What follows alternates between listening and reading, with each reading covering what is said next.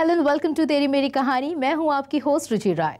दिल का रिश्ता है हमारा। दिल के हर कोने में नाम है तुम्हारा। जी हाँ काजोल और अजय देवगन बॉलीवुड के उन लकी कपल्स में से हैं, जिनके प्यार को मंजिल मिली, जिनका इश्क शादी के नाम में बदल गया, जो एक दूसरे का साथ 18 सालों से निभा रहे हैं। चलिए देखते हैं कैसे बबली गर्ल काजोल अजय के दिल में हलचल मचा गई। अजय काजोल की लव स्टोरी में एक वो भी आई।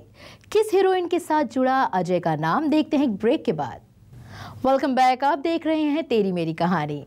अजय काजोल अब दो बच्चों के पेरेंट्स बन चुके हैं। बच्चों की खातिर काजोल ने फ़िल्में करना बंद कर दिया। जिस तरह वो एक परफेक्ट एक्ट्रेस हैं परफेक्ट वाइफ है, ठीक उसी तरह वो एक परफेक्ट मम्मी भी हैं। अजय काजोल की कहानी आगे भी जारी रहेगी। देखते हैं काजोल क्यों जलती हैं अजय से। वेलकम बैक टू दी तेरी मेरी कहानी अजय काजोल की स्मूथ लव स्टोरी में ऊबर खाबर रास्ते भी आए। पिछले एक दो सालों में अजय का नाम बॉलीवुड की एक एक्ट्रेस के साथ जुड़ा।